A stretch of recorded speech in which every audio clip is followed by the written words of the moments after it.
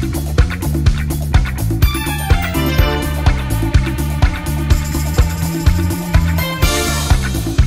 guys, welcome to the video. Thanks for joining today. Uh, today I was just going to do another quick training recap on my build-up. I'm trying to get ready for the Badger 100, uh, the first weekend in August. Uh, August 3rd we start in Orangeville, Illinois and run up to um, Belleville, Wisconsin. Uh, I'm definitely falling behind on my training, but uh, just wanted to there were two races this week, so I just kind of wanted to go ahead and give an update anyway. Uh, I began the week uh, kind of the way I ended last week. I was I was sick. I had uh, cold, uh, sinus problem stuff. I had sore throat, runny nose, junk like that. Just wasn't feeling good at all. So I did not run Monday or Tuesday. I did get out and walk some both days. Uh, Wednesday, I was finally able to get out and run. It was extremely hot and humid. Uh, I just did 3.1 miles and kind of slugged through. I was still very tired.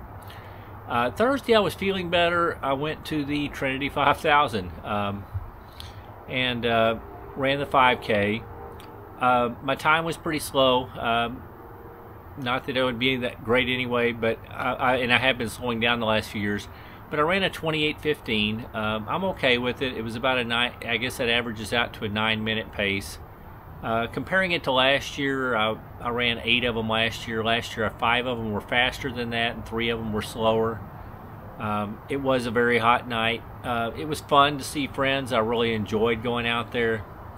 Uh, but that was my Thursday night run. Uh, Friday, I.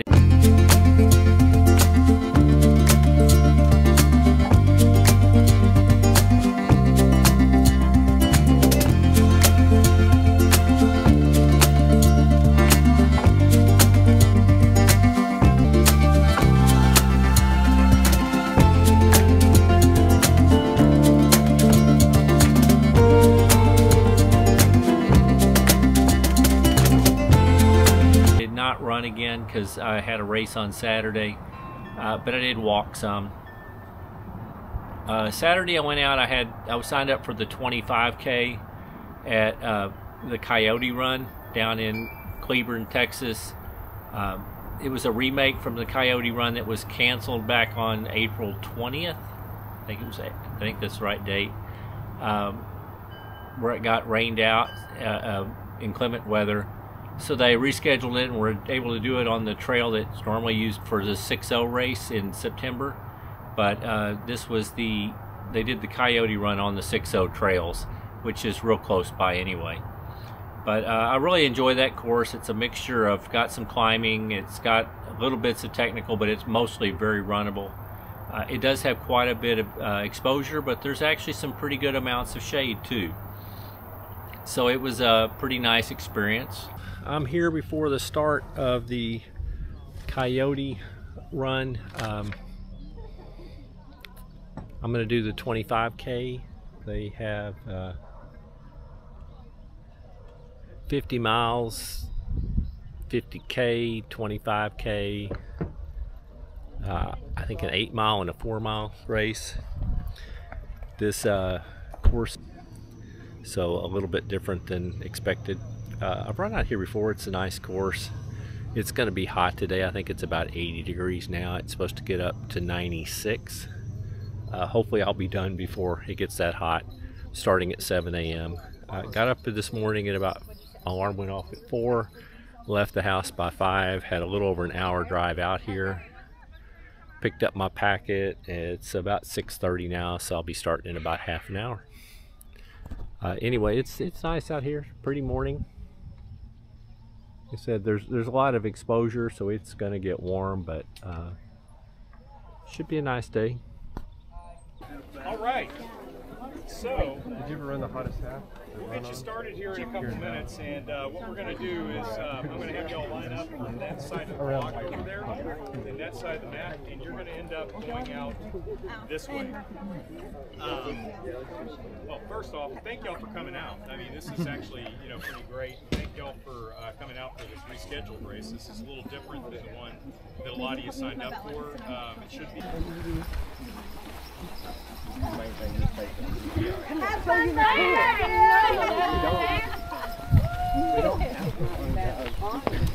How you doing, Lauren? I'm good. How are you doing? Good. Hey, she's being mean to me. Ah.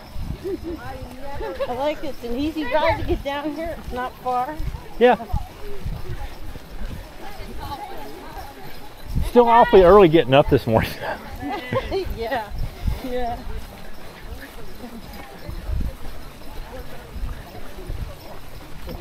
Hopefully we'll beat most of the heat. Yeah, I hope so.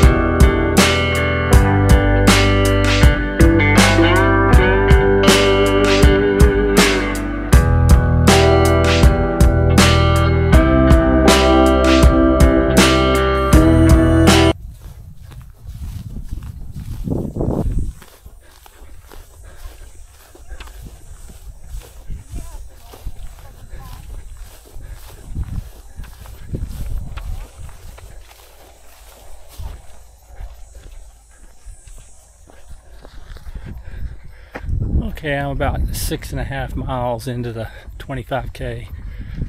It's actually uh, two 8.3 mile loops, so it's really going to be 16.6. Uh,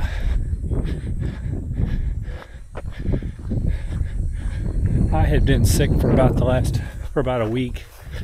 Been better the last couple days. I'm actually feeling pretty decent, but uh, it has become very obvious to me I'm not recovered enough to be out here running this far in this heat. So uh, I think I am dropping out at halfway.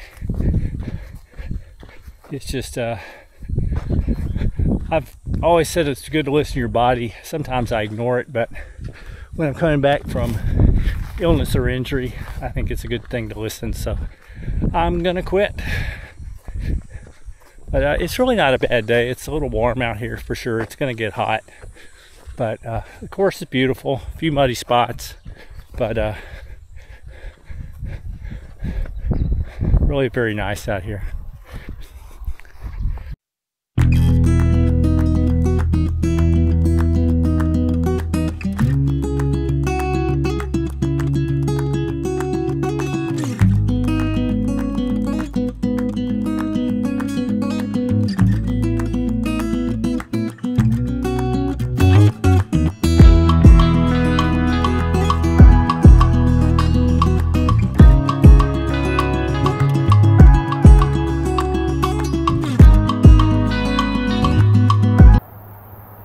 Actually ended up DNFing that race. Um, I think it was just I had been uh, since I had been sick. I'd only started feeling good the last couple days. Uh, I just wasn't recovered enough. I was still very low energy.